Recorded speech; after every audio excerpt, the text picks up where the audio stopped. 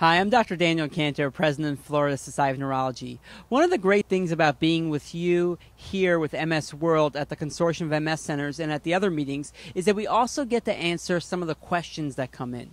And so we've been looking and reading through the questions, and Ashley's been behind the scenes making sure that we answer them all.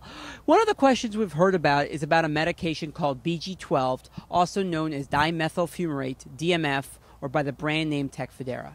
So let's talk about that medication.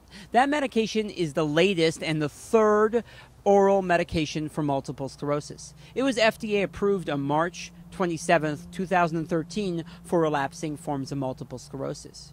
You take it twice a day, with or without food, and the idea is to try to bring down the relapses, try to bring down any MRI changes, and try to slow down any type of disability that happens. Some of the practical questions people ask are well, what kind of medicine is it? Is it immunosuppressant? Is it going to make me have lots of different types of infection?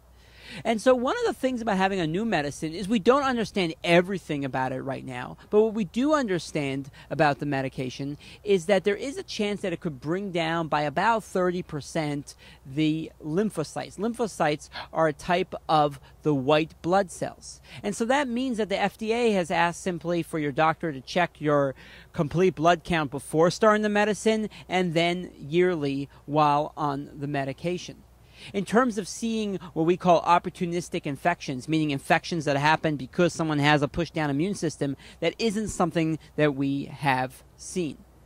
And so it looks right now like hopefully we're not going to see that type of infection. But of course, when there's new medicines, we always have to watch out and you have to tell your doctor if you're having any concerns or if there's a new infection that's happening in terms of that.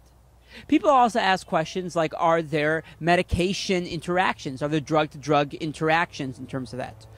While you don't take Tecfidera with other MS drugs, like with the interferons or glatiramer acetate, Copaxone, the injection, or with the other oral medications, or with Tysabri, in terms of other medicines like antidepressants, pain medicines, spasticity medicines, it does not look like there are interactions in terms of that.